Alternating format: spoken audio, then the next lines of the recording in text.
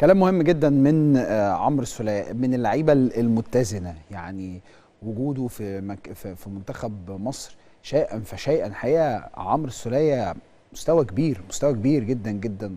قيادة في الملعب تطور كبير على الأداء والمستوى والشغل الفني حاجة حاجة محترمة جدا. الحقيقة الواحد فخور بالشخصيه بتاعه المنتخب اللي بقت مطبوعة عند اللعيبة كلها بتاعه منتخبنا ال- الوطني. إنه ال- القدرة على إنه لا ده ده منتخب مصر. ففي ماتشات أنا لازم التيشيرت بتاع منتخب مصر أبقى قده. والحقيقة إنه مفيش لعيب في منتخب مصر مش قد تيشيرت المنتخب. تاني؟ تاني. مفيش لعيب مفيش لعيب أو تاني. مفيش لعيب في منتخب مصر مش قد التيشيرت بتاع منتخب مصر. كلهم رجالة. بس هو إيه اللي بيحصل؟ اللي بيحصل إنه بيبقى فيه لعيب موفق أو غير موفق بس لكنه مش متخاذل. ما عندناش في الجيل الحالي لعيب متخاذل. في اللي إحنا شايفينه في البطولة دي في التوقيت ده ما عندناش. إحنا شايفين فعلا لعيبة عارفة قد إيه إنه مهم جدا آه الأداء والروح والتفاني في الملعب. فدي يمكن من الحاجات اللي أنا اللي بسطاني جدا جدا جدا إن إحنا بنقرب نروح للجيل الذهبي بتاعنا. بنقرب نروح لأن إحنا والله العظيم يمكن في شباب كتير ما عاشوش الاوقات اللي إحنا عشناها.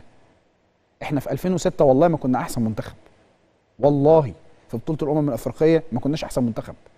في القارة. بالعكس كان في منتخبات تانية أقوى مننا بكتير. وإحنا كنا بعيد. بس كانت عندنا لعيبة رجالة. في 2008 في بطولة 2008 إحنا عملنا أحلى كورة. وكسبنا 2010 بعمق الخبرات والتجارب الكتيرة وبالاسم. فأنت الفوارق دايما بتقربها لكنك عمرك ما كنت عمرك ما كنت كتف بكتف مع منتخب كوت ديفوار. ستة وثمانية وعشرة. عمرك. عمرك ما كنت كتف بكتف مع منتخب الكاميرون. عمرك. بس كنت تغلبهم. وكنت بتتعامل مع المباراة إن أنت عندك ال- الروح و و وعندك الحمية بتاعت المنتخب إنك تكسب. فعشان كده دايما ده كان فارق. عشان كده دايما إحنا كنا موجودين في المكان ده. و و وتحديدا أنا بقول ده عشان كل اللعيبة بتاعت منتخب مصر بما فيهم مروان حمدي. سدوا ودانكوا عن الوحش. سدوا ودانكوا عن الوحش. وركزوا. وتاني اللعيب المتغير بتاعه أسرع بكتير من أي حاجة في الدنيا. اللعيب باصة غلط الناس بتزوم إيه ده؟ لا ما ينفعش. هو تاني بيعمل اسيست بجول لعيب كبير.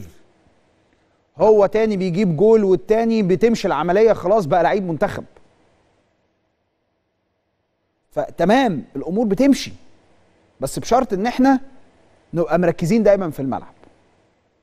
فإن شاء الله بإذن الله الأمور تمشي زي ما إحنا عايزين بالنسبة لمنتخبنا الوطني.